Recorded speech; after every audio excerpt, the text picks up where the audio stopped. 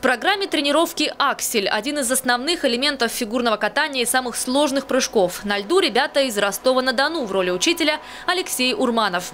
В том числе и благодаря двум тройным чисто выполненным акселям в 94-м он стал олимпийским чемпионом. Сегодня тренер еще одной чемпионки Юлии Лепницкой Урманов дает серию мастер-классов в образовательном центре «Сириус».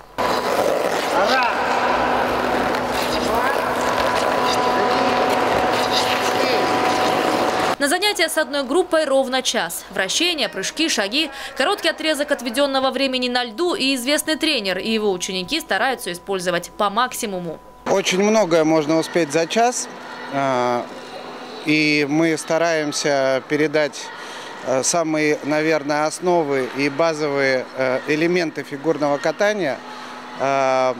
И дети очень хорошо впитывают эту информацию, которую мы стараемся им передать как, э, как педагоги. Впитывают и снова и снова пробуют на льду. Кстати, нередко получая одобрительные аплодисменты от Алексея Урманова. Но не только звездный тренер, но и не менее звездный лед помогает, считают юные фигуристы. От места препровождения здесь я получаю бурю эмоций, особенно когда вот с тренером таким звездным вышел сюда на лед.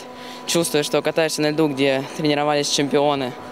Ну, на самом деле, просто это не передать словами. Вместе с детьми в мастер-классе принял участие и тренер ростовской команды. Задача. Вернувшись домой полученными от Урманова наработками, нужно будет поделиться с максимальным количеством фигуристов. Так уникальный опыт распространяется по всей стране. Мы для себя подчеркнули, что это все-таки нужно работать над базовыми элементами. Постановка спины, как бы посадка ну, на конек. Мы очень рады, что у нас здесь есть возможность э, сделать э, как бы опору больше на лед, потому что у нас в области такого ну, не представляется возможным. Алексей Урманов мастер-классы уже провел для спортсменов из ростовской команды и Башкортостана. На очереди Ямало-Ненецкий автономный округ и Краснодарский край.